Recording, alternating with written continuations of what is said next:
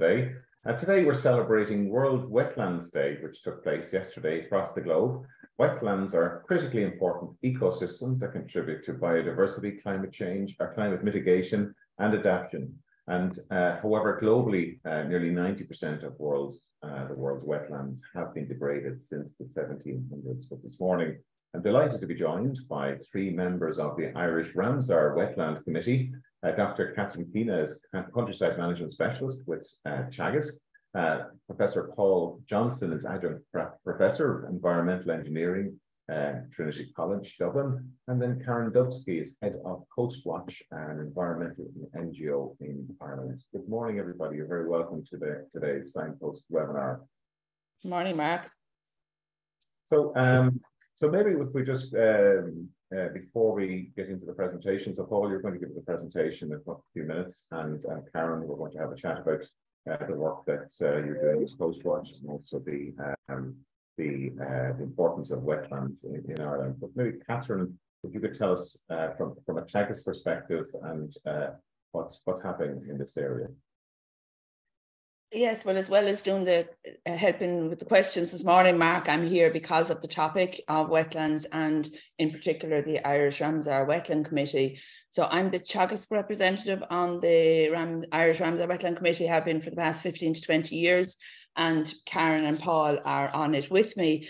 Um, and I think maybe to explain uh, rather than my words, um, Yvonne is just going to play a, a two minute video which, ex, which explains wetlands, Ramsar wetlands, and the role of the Irish Ramsar Wetland Committee.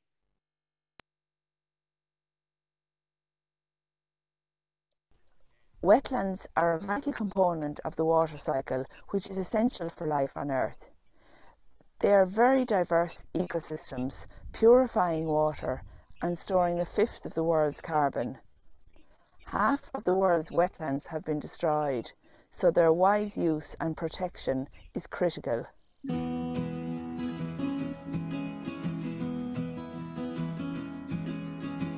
Ramsar is a place in Iran where the International Convention on Wetlands was first held in 1971, since known as the Ramsar Convention.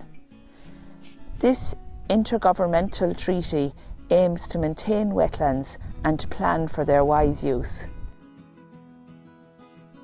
The Irish Ramsar Wetland Committee was set up by the government in 2010 to assist Ireland in meeting its requirements as a signatory to the Ramsar Convention. Membership is drawn from a variety of relevant government agencies, scientific and technical institutions, regional and local authorities, and non governmental organisations. The aims of the Irish Ramsar Wetland Committee are to assist in the protection, appreciation and understanding of wetlands in Ireland.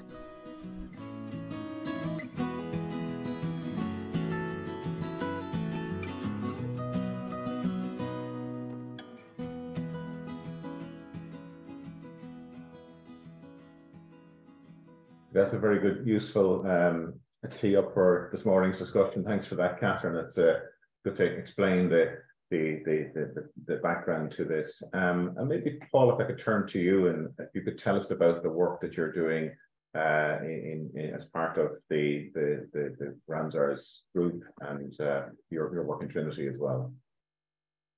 Good, morning, everyone. Uh, yes, I'm I'm a, a retired uh, now professor, but now adjunct, uh, dealing with the hydrology of wetlands in particular uh, from environmental engineering uh, department in Trinity College. Uh, I've spent most of my career, in fact, working on the hydrology and hydroecology now of wetlands. And you'll hear a little bit more about that in the presentation. Thanks, Paul. And uh, Karin, if you could tell us a little bit about your, your own background and, and the work you're doing in with Coastwatch. Okay, well, I grew up on a farm. My father's side were farmers for generations down in South Wexford, uh, or they were farmers for generations, but not in South Wexford. We moved there when I was a kid. Uh, I studied zoology and then did postgrad in environmental uh, in coastal ecology. So my love is for wetlands and particularly coastal ones, and for informed public participation in decision making. So Coastwatch is an environmental NGO, it's international, and we share citizen science as a method of informing people. Thanks, thanks, thanks, Karin. And uh, we'll, we'll dig into that a little further uh, when we get to talk after Paul's presentation. So I think without further ado, Paul, I think we'll, we'll go straight to your, your presentation. If you could share your screen with us and um, we'll take questions afterwards. Uh, so if you would like to use the Q&A tab at the bottom of your screen and send through questions for our, our panel this morning, please do so. And today's session will be recorded and uh, will be available on the Teagasc website as well as the, the YouTube channel. And uh, don't forget as well that you, if you're if you want to catch us while you're driving somewhere or doing something else, there's a podcast version of the signpost webinar as well, which uh, can be listened into. So that's great, Paul. Your screen is appearing there. Perfect. That looks good from this end. Good morning again, everyone. Uh, yes, what we're trying to do today is to introduce you to some of the aspects of the work of Ramsar and to see how Ramsar and its work fits with the management and protection and indeed now restoration of wetlands uh, in Ireland. Ramsar, as the video suggested to you, is an international convention to which Ireland, along with 171 other countries at the moment, signed up to. And it deals with the policy of how to manage, protect, and indeed restore wetlands. And what I want to do in the next uh, 20 minutes or so is to introduce you to some of the ways in which the principles of Ramsar, and you can see them there on the screen, to conserve, restore, and ensure the wise use of wetlands. And secondly, to identify and protect wetland sites of international importance, how these principles apply in Ireland and how they overlap indeed with our already uh, extensive management of wetlands. The Ramsar sites, the wetland sites in Ireland, there are some 45 at the moment, are indeed overlap with the wetlands that are already protected under EU legislation. So you might regard the Ramsar wetland sites as the sort of gold star uh, wetlands. So to, what I want to do is to try and uh, define exactly what we mean by a wetland. It's all very well talking about wetland protection and uh, wetland restoration, but what exactly do we mean by wetland? And here you can see on, on, on the screen the formal definition, which has been around under this international convention for uh, nearly 50 years now. Uh, and I'm not going to read it, but essentially it means wet patches in the landscape and also including wet patches on the coast. So not forgetting the marine side of wetlands. And further, you can define wetlands or you can outline what exactly we mean by wetlands uh, as to 42 different types. And I've summarized these uh, in the broad spectrum that wetlands actually cover. You've got the coastal and marine, including estuaries, which uh, Karin Dubsky will talk to you about later. Inland, we have the lacustrine, that means lakes, the rivers, including their floodplains, they're all wetlands because they're effectively wet patches in the landscape. The palustrine, to use the academic definition, but that includes bogs and fens and uh, ponds and all ranges of wet inland areas. Not forgetting that there is a classic area of wetlands made by humans, i.e. constructed wetlands, and those come under the Ramsar uh, idea of management as well. Without rehearsing these armchair statistics, as already mentioned in the video, a large chunk of the planet Earth is in fact uh, wetland. And Ireland has more than its fair share, you might say. Uh, it's estimated, and this is a guess, that 18% of the land area could be uh, described as a wetland. But that, of course, may or may not include uh, a lot of our wetlands that have been drained or otherwise uh, destroyed. What it includes in plain language in Ireland is raised bogs, blanket bogs, fens, turloughs, lakes, of which we have many thousand, riverine riparian wetlands, things like the Shannon Callows and so on. Plus, and not forgetting, the wide range of coastal and marine uh, wetlands. Just a couple of pictures just to give you a flavor of what we're talking about here, uh, under which uh, Ramsar says we have to, or we have agreed to, wisely manage such wetlands. We have the well-known Shannon Callows, which are effectively the floodplains of the Shannon uh, catchment. Turloughs, a unique wetland in the Irish landscape. The raised bogs of the Midlands, which we're well familiar with. And there you see one with the edge, the face bank cut away and now abandoned, but causing a number of problems in terms of restoration and management.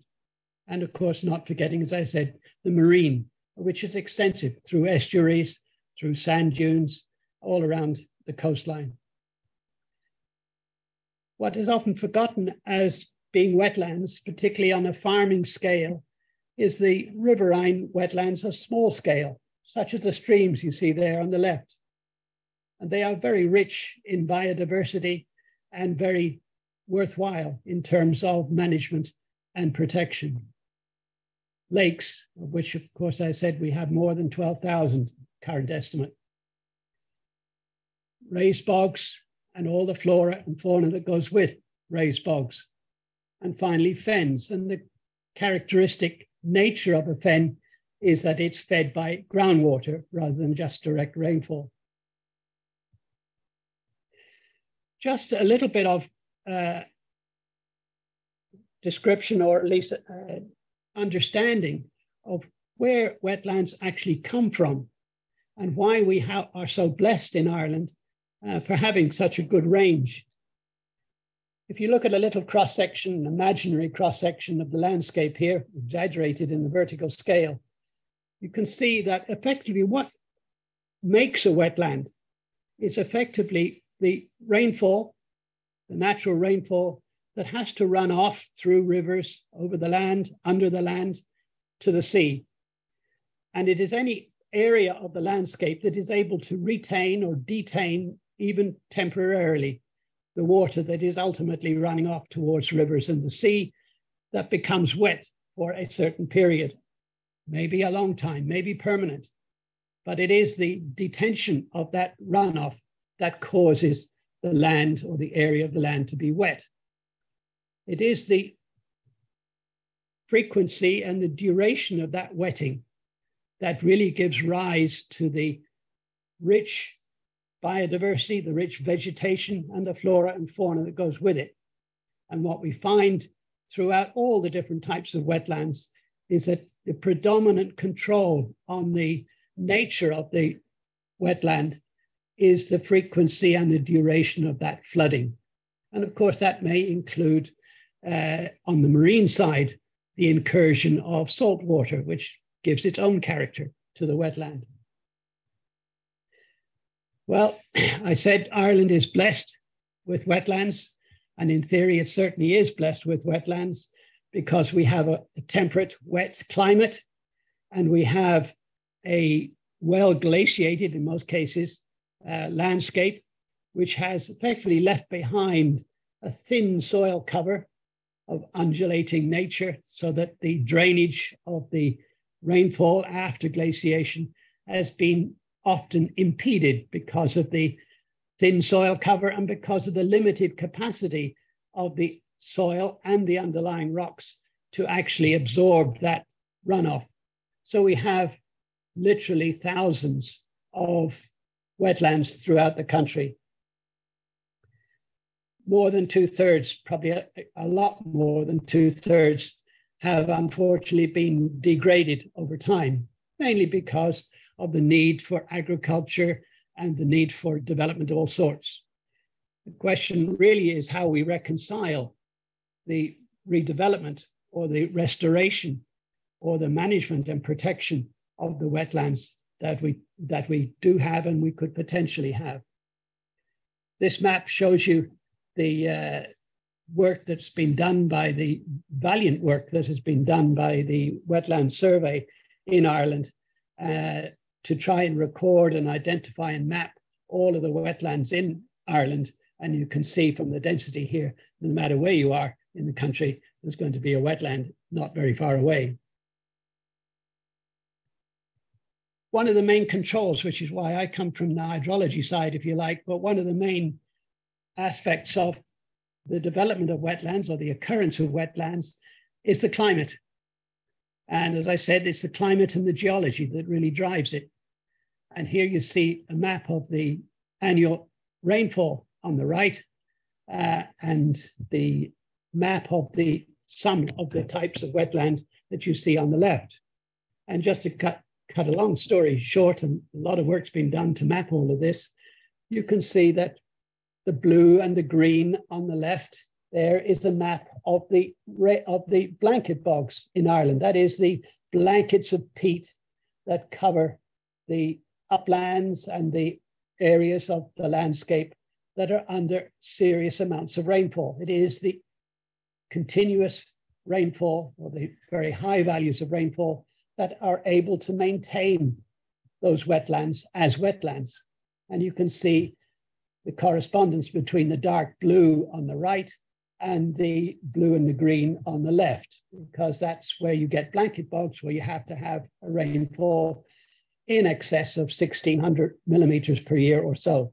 The red, the raised bogs, the lowland bogs, if you like, that is the peatlands in the central part of Ireland, and not so much on the east, as you can see, because they need a minimum of 800 to 1600 millimeters of rainfall.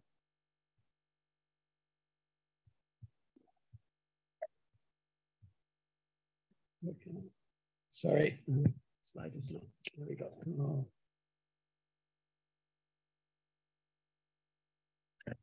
Now, in one slide here, I've tried to pull together the problems of management of wetlands, no matter where they are. And it doesn't matter whether it's marine or uh, inland wetlands you've got a detention of water, you've got a holding or retention of water in a patch of land, or if you like, on, on the margins of the land. And that wetland is only going to survive if you have enough water to drive it. And the water may be coming from streams, surface water. As you can see, it may be coming from groundwater, which is originally originates originally, of course, from rainfall, but has passed through the ground and is emerging in the wet patch on the surface of the landscape. It may be that the wet patch is beside a stream or a river, in which case the uh, water source is from the flooding or the occasional flooding of the stream. What you find, of course, is that that supply of water is what is bringing in more or less nutrients that are required to drive the vegetation. And that vegetation can be exceedingly diverse and rich, and you have the buildup of vegetation over a period of many hundreds or even thousands of years. And in the case of a bog, that uh, accumulation of vegetation is retained within that wet area, and you get those deep sequences of peat, which these days has been very much regarded as a benefit in terms of its storage of carbon, because the decaying vegetation, the poor drainage, which is perhaps an ironic aspect of, of wetlands, the poor drainage has allowed the vegetation to accumulate at something like a millimeter per year in the case of, of bogs. And that doesn't sound like very much. But when you work over 10,000 years, you have clearly up to 10 meters of peat in many of our raised bogs if they haven't been cut away or damaged. So increasingly, not only is a wetland because of the sources of water and the nutrients carried by it, as rich areas of biodiversity, they're also a rich store of carbon. And that, and that makes them extremely valuable in their role as uh, moderation of climate. The result of that inundation and that retention of water, which comes and goes according to the season, according to rainfall, etc., is what gives rise to the diversity of vegetation. And just as a simple schematic, you can see here that there's often a, a gradation of vegetation at the edge and in the middle sometimes of a wetland where the water that is supplying the wetland comes and goes and, and raises and lowers according to the climate and the geology that is partially draining it.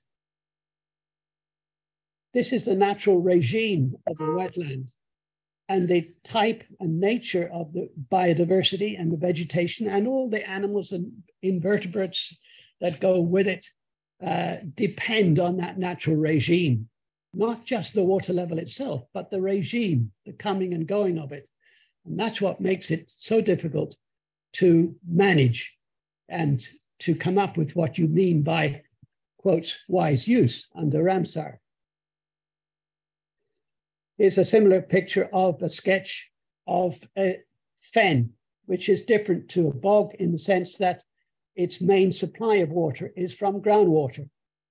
And groundwater being particularly rich in nutrients or richer than nutrients than natural rainfall means that the nature of the vegetation on a fen is dramatically different depending on the quality of the water is being supplied. But equally, it makes it very difficult to manage and to protect and to control the uh, nature of that uh, vegetation and indeed the nature of the protection that you try and apply. You can see that it's very important in protecting a wetland and indeed coming up with ideas for wise use is not only just to put a fence around the wetland, but also to look at the ways in which the water arrives. Because if you interfere with the supply of water to the wetland, then you're going to impact the wetland itself. And I'll give you one or two examples before the end.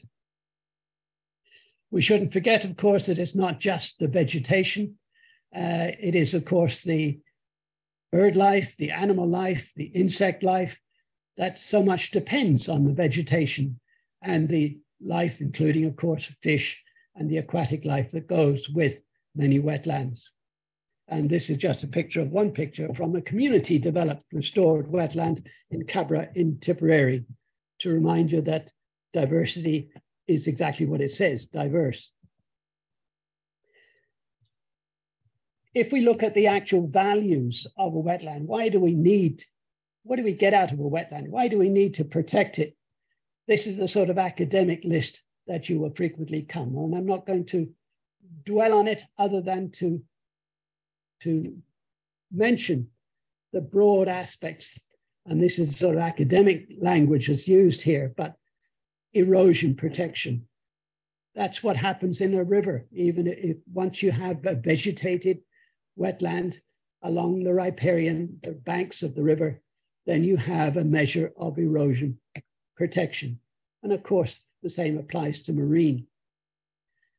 Flood protection is controversial uh, in the sense that not all wetlands uh, are able to perform that particular role, but many do, and you'll see one in a second uh, when we look at uh, Turloughs.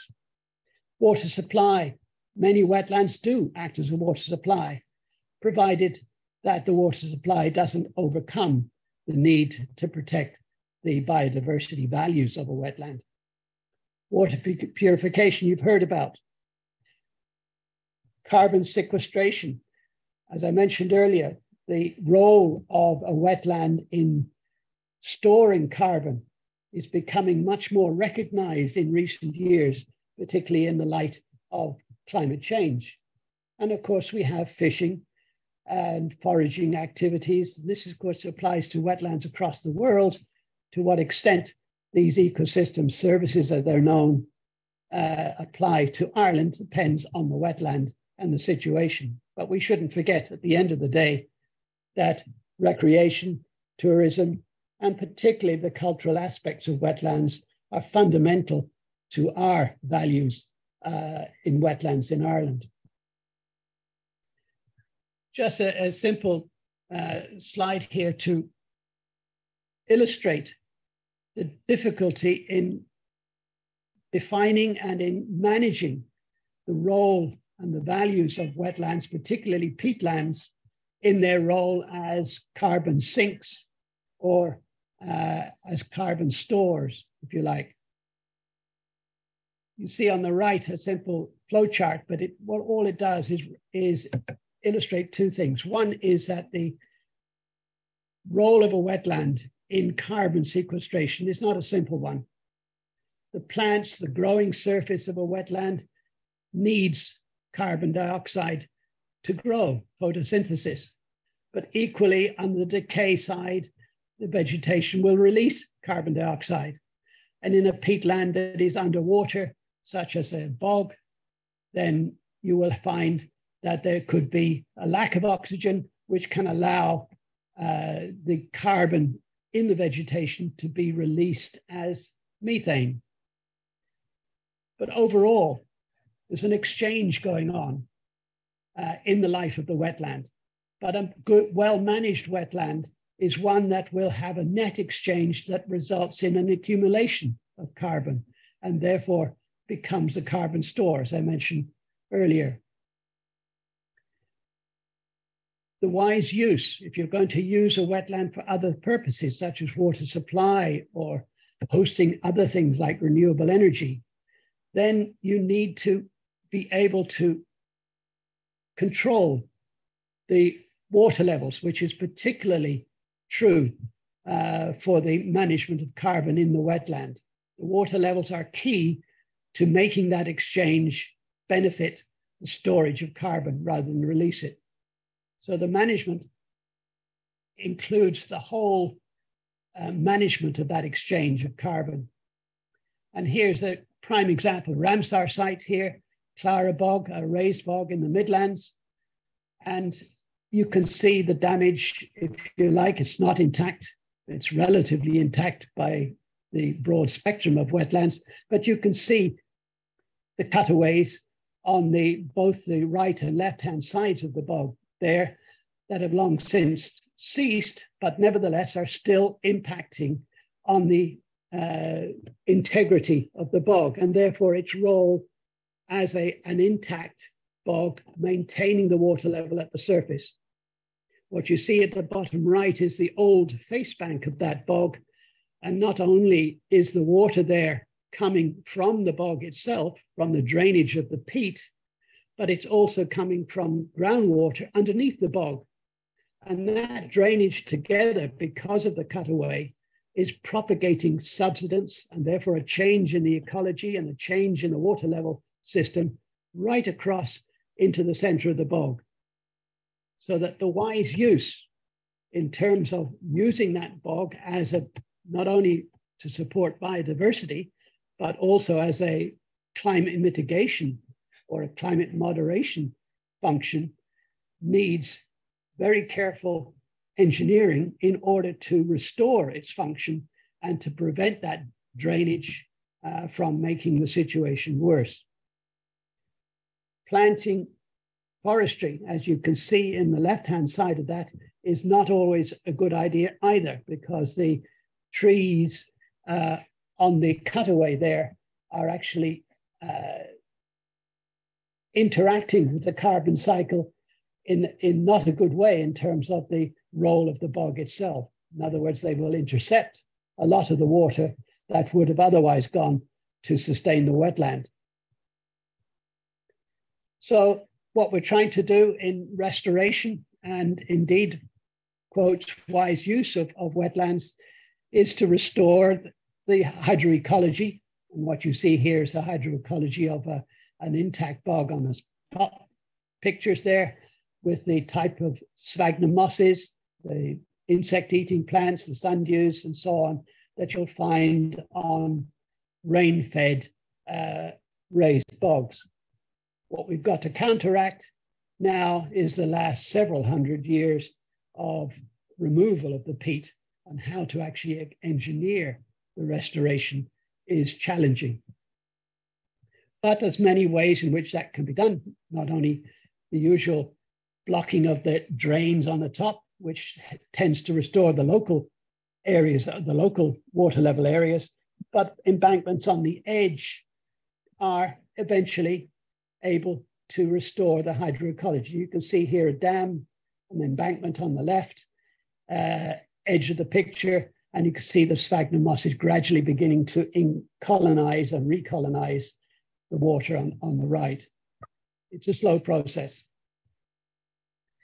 Finally, just a couple of examples of how wise use can include not just isolation of the wetlands, but management in a more active way that allows the wetlands to function as wetlands, but also to uh, support other uh, uses without compromising that wetland function as a carbon store and as, as a role for biodiversity. Turloughs are a unique feature of the Irish landscape. They flood periodically, and they are depressions like any other wetland in the landscape that flood periodically. And they're no, by no means a small item on the Irish landscape. Here you see some 400 of them, but the, uh, that we have mapped over the years.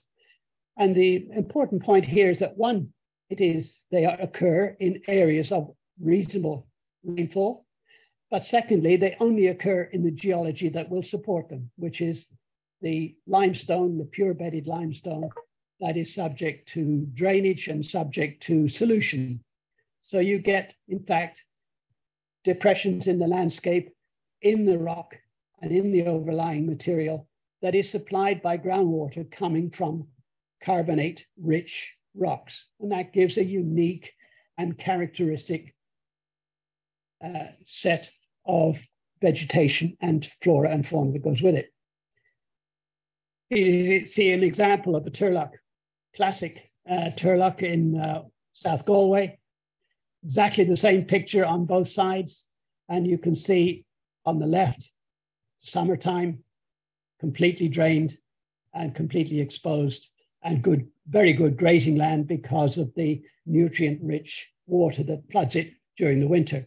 And you can see in this case, a very large turlough, the water of which is coming from the uplands, the Slieve uplands, which you can see the beginning of in the back. The water is very rich in nutrients, four cu million cubic meters in this case. And here you can see a diversity of the flora. And you can see the Turlough on the right. Uh, this is a nearby Turlough, Rahasane, and you can see the dark mosses here uh, on the rocks, which we know requires uh, sustainability of at least 60% uh, of the time. They need, require inundation 60% of the time in order to be sustained. The trees and the bushes on the left, if you would start to interfere with the drainage or with the flow in the Turlough will start to move in towards the, the center of the Turlough. In other words, you need to maintain the regime. Different Turloughs will have different regimes, and you can see three here on the right. The top one, uh, water level against time, that's a year's worth of water level, and you can see the slow response on the top, medium response in the middle, and the very rapidly changing on the bottom. Each of those will have a different set of flora. But Look at what happened in 2009 and indeed back in the 1990s. This is the main road next to the Turloughs from Shannon to uh, Galway. And you can see the flooding has overtopped the Turloughs.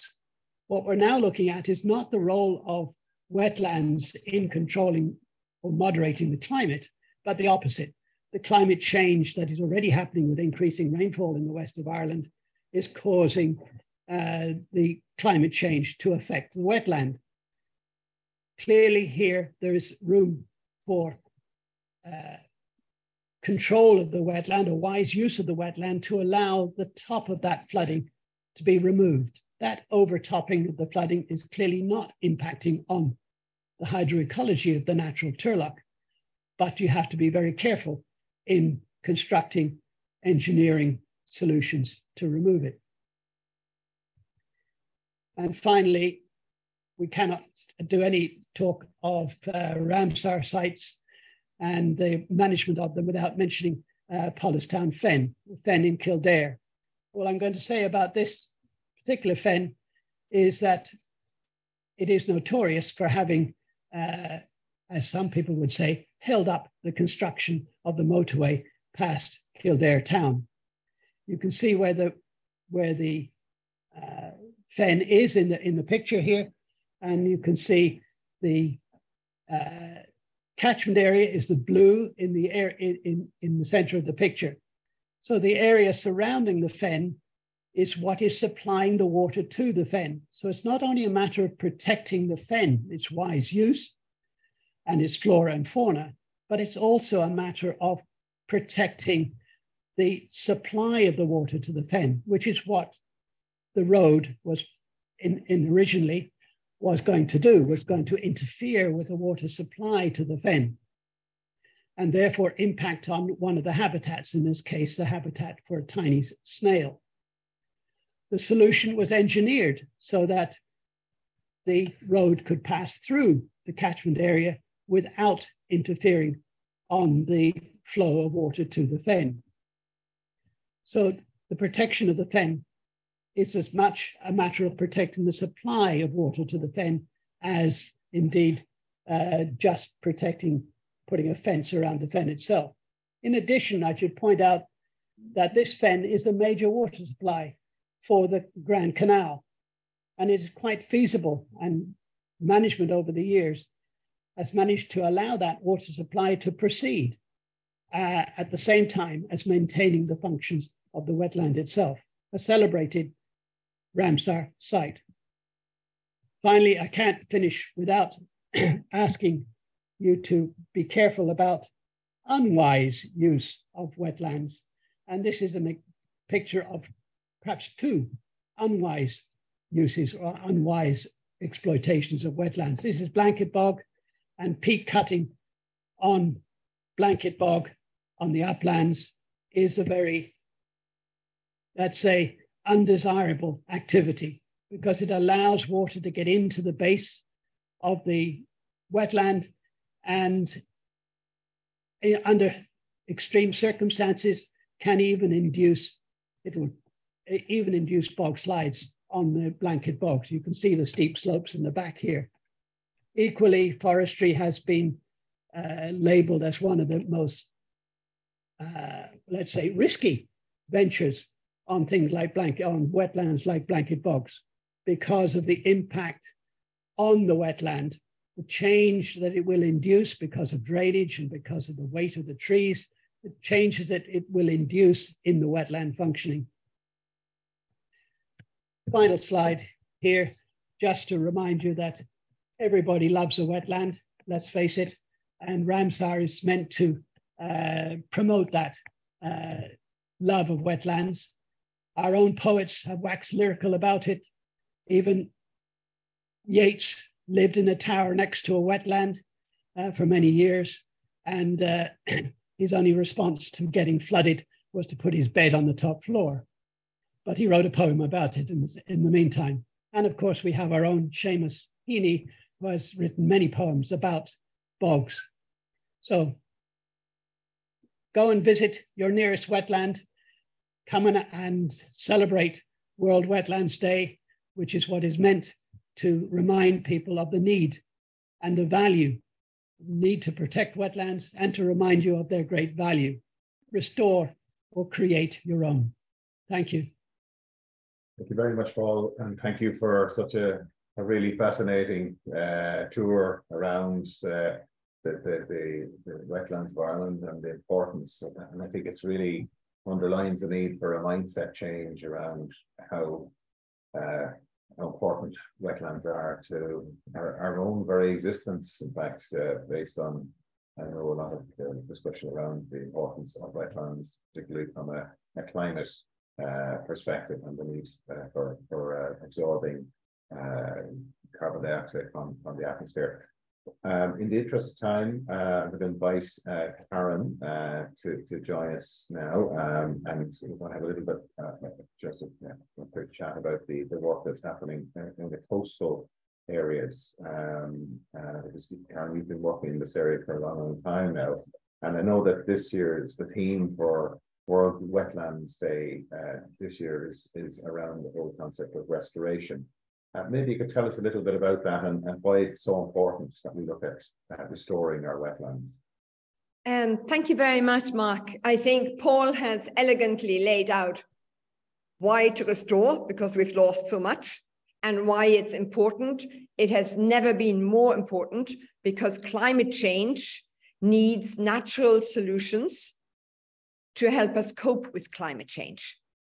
And I think a lot of people don't realize how easy it is to do small little bits of work. Restoring wetlands is like, it, it's almost like a Aran jumper. We've unraveled most of it. Now let's just knit it back together again. Many, the Irish landscape in most areas is tiny little wetlands beside each other. And so it's so important, like wetlands are an integral part of the landscape. They're they're connected by so many different aspects of the landscape. So imagine it's it's not just uh, one farmer that uh, can have an effect, or indeed farmers. It's it's a broader broader society that needs to participate in this whole restoration effort. Yes, absolutely. And I really brought it down to me, you know, when I'm a, the coast is my main area we have huge numbers of about one stream, short stream per kilometer in Ireland. And one of those streams, the Ballymoney stream, we had a recent pilot EIP project.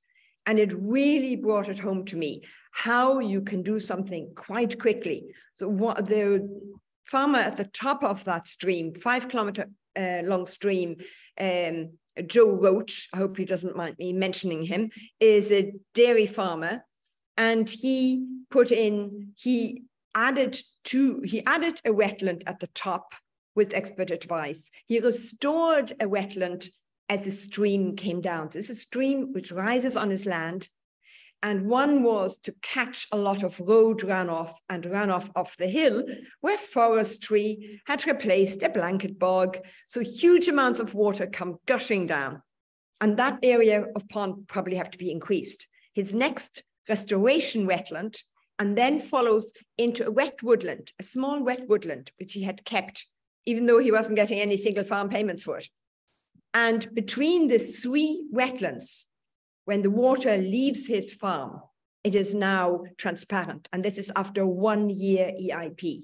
Now, there's still the occasional bout of nutrients because a lot of high nutrient uh, water comes into his farm in, in uh, flood spouts. But the next, uh, uh, you have other farms, but you have other also other landowners. And landowners can think, oh, it's only the farmers, but each landowner can do something to the riverbank. They can either unwittingly wreck the bank by putting all sorts of construction waste beside it to enlarge the garden a little bit, or they can give space for nature and for the stream. Because when it ends up on a beach, like in us, in our case, uh, Ballymoney uh, Beach, you want clean water. And that is quite a small society. Those streams are short. And in most of the bathing waters where there is a problem, that is really close to shore. And whether it's farmers or the local sewage treatment or non-treatment plant or a caravan park, we all have to work together. Because that is, uh, I mean, often when we think about wetlands, we don't really think of coastal areas necessarily. Uh, we have a coastline, you mentioned earlier in our discussion uh, this morning that we have a coastline of 6,700 kilometers long. So, you know, what are the opportunities there to uh, to, to develop or to, to restore the wetlands that are, uh, along our coasts? And I, I, understand there is a strategy uh, being developed for that. Uh, well, the strategy is um, the um, uh, Maritime uh, Planning Act was passed in December of uh, last year, of, of 2022, and is being rolled out. Sections are being commenced. And while much of it is sort of focused for further out, the coastal zone is part of it, and local authorities will get responsibility for the near shore zone. So there will be, hopefully, or I think it's essential, more clarity as to where the high water mark is. If a farmer, because we have sea level rise, and we can see now that coastal vegetation is changing, and farmers may feel that um, this is terrible, sea level rise, I'm losing land. Well, if we could clarify whether the farmer actually loses it or whether the farmer could keep that as his land, then there would already be something which would allow management for the farmer for salt marsh. Salt marsh is incredibly important as a carbon store and also gives you, if you have sheep on it, a particularly good taste. And you have in Belgium and in France the Mouton Pré Salé, where they get extra price for the animals grazed there. If you don't overgraze, if you arrange it in a really managed fashion, this could be very valuable. And in front of the salt marsh, you quite often have seagrass, which is an incredibly important carbon store as well. And in my vision, the farmer who's adjacent to that seagrass could ideally be able to get some sort of management function as well. Because the other difficulty I have seen, really noticed in the last four years, is that farmers are starting to drive over the foreshore to even access their, some of their fields because they've lost so much. And they don't know what seagrass looks like. So accidentally, they can absolutely mangle uh, intertidal peatlands, seagrass, drowned woodlands, all of these most important carbon stores. And regarding intertidal peatlands and drowned woodlands, of course, you can't restore them. If you wreck them now, they're wrecked. Thank you, Karen. And um, there's obviously a need for education and uh, awareness around those those uh, those habitats. Um, and I I, I recently came across a website um, that I'm not sure which department had it. They, were modeling the sea, sea level rise in some parts of, of the country where you could actually see where what, what, what areas of land could be lost. I'm going to invite Catherine and uh, Paul to rejoin us um, for the questions and answers. Um, but just before we go any further, Catherine, I mean, there's a lot of um, you know, there's a lot of, uh, we say, interventions needed uh, by farmers in, in some cases to to uh, to maybe bring back wetlands. You know, where where can they go for expert advice in, in this area? Well, I suppose even in the, the most recent ACRES scheme, we have um, some very good measures there on, on uh, riparian margins, riparian zones. So it's it, it is mainstream, which is fantastic, you know, now. Um, I, going, I suppose the, the, the Paul just gave the example of the high, or explained so clearly the hydrology. So it's it's it's it's so it's not straightforward. It's easy, maybe plant a hedge. I'm always more scared when I'm advising a farmer to to plant, uh, or sorry, to, to to create a pond because you know hydrology is is is not is a different science, isn't it? And we have a few questions there on how how people can improve and maintain their own wetlands. So we'll come to those maybe. But uh, yeah, well, I think we should probably get straight into the questions. The time is, is ticking on, and uh, we have a huge interest. We have over 400 participants this morning from across Europe. Uh, it, it's uh, quite extraordinary the the the, uh, the spread of, of, of, the audience from this morning. So, uh, so we can if we if we, if we could pull through some of those questions. Yeah, um, so just a couple of comments first, very positive about the presentation. Um, a, a nice comment about Coillte now embarking on five pilot bog rewetting projects, greatly welcomed. And then uh, back to the questions, and if you can keep your answers brief, because some of them you've already touched on, or maybe since the question was asked. Um, uh, Karin talked about constructed wetlands, but perhaps Paul could have a, a further comment on, on your view for using constructed wetlands for runoff. Yes, they, they, they have a very useful role to play uh, in, in controlling runoff. we built and analysed a constructed wetland for the control of, or for the management of runoff from the uh, M7 motorway some years back. And uh, the key thing is that you have to design them appropriately. Uh, while they can be used very effectively to control the pollutant load coming, say, from a road or from wherever it's coming from, be very careful that you then don't discharge that uh, pollution, if you like, or that contamination into the groundwater if you don't line your wetland properly, or indeed if you don't manage it and you have to harvest the wetland occasionally uh, to allow it to go into the local stream. So in other words, design them. And if you design them properly, they have a valuable role. Uh, any couple of quick comments on, on what